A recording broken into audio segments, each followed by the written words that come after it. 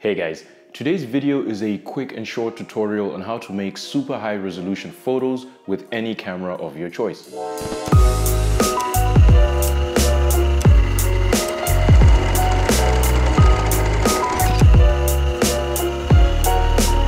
Now recently I traveled to Cape Town in South Africa during the Christmas holiday and I carried with me my Sony RX100.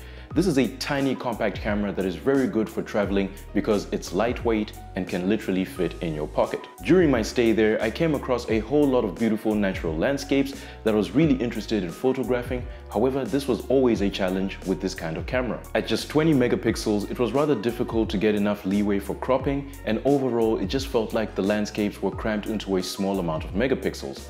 When I zoomed in slightly, there was very little detail in almost all the shots. I'm a person that believes that huge landscape shots should have as much detail as possible, so I discovered a neat little way of creating very high resolution images.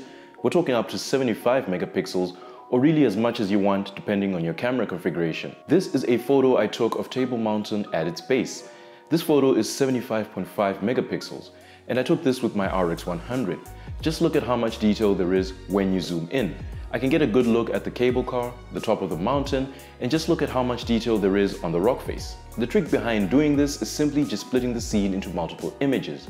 What I mean by that is if you look at the Table Mountain image, you'll notice that it is very wide.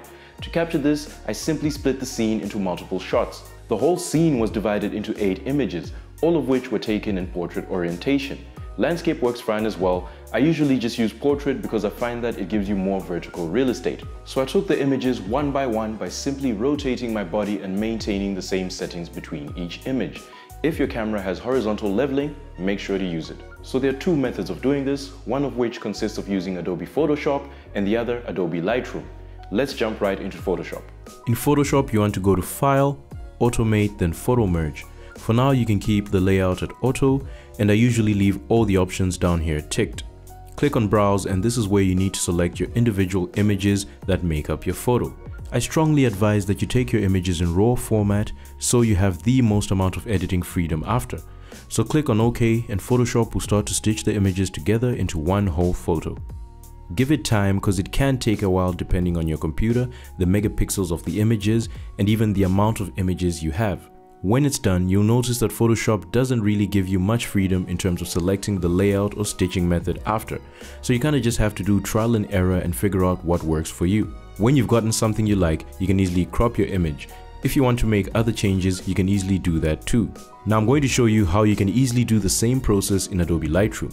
You want to import your raw image files, I've already done it over here, then all you have to do is click and highlight them all using the shift key, then right click, photo merge, panorama. Lightroom will process the images and stitch them together. And unlike Photoshop, Lightroom allows you to preview the different layouts so you can pick the exact look you want.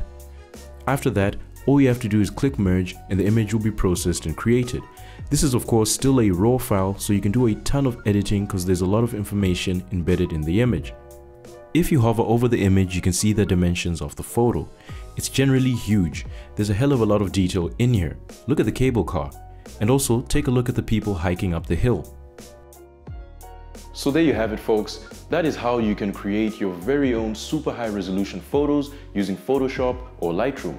I will admit that the process is not perfect, sometimes the stitching does get pretty weird. For example, take a look at the cabling of the cable car. Notice how it is misaligned in some areas. It's one of those things that you have to really pixel peep to see, however, it is still there. Thanks for watching and I hope that this video has been helpful to you. Please leave a like or a comment and don't forget to hit that subscribe button as well as turn on notifications for more videos like this. Catch you folks in the next one.